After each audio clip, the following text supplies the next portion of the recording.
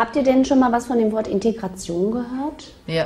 Was bedeutet Integration? Das ist, wenn man andere ausschließt, ne? ja, eben nicht. Wer von euch hat deutsche Freunde? Deutsche Freunde. Jessica, klar. Ja? Ich? Keine einzige. Ich auch nicht. Kein. Du hast Ich auch keinen einzigen, ne? Nee, jetzt muss man mal ganz ehrlich sagen, Garasi, hast du deutsche Freunde? Nein. Na klar, ich hab Du. Valentina, hat auch keine deutschen Freunde? Warum hast du keine deutschen Freunde? Weil sie nicht zu uns gehören. Ich kann nicht durch ähm, so sein, so, keine Ahnung. So. Kannst du die Deutschen nicht so gut leiden? Das ist so, draußen hängst du mit Deutschen ab, machen die andere Sachen, die du machst. Zum Beispiel wie Schweinefleisch essen. Man ekelt sich dann vor denen, wenn ich ehrlich bin. Ich, wenn ich sowas schon sehe, ekel ich mich. Guck mal, wenn die Ausländer alle bleiben würden in Deutschland, ne?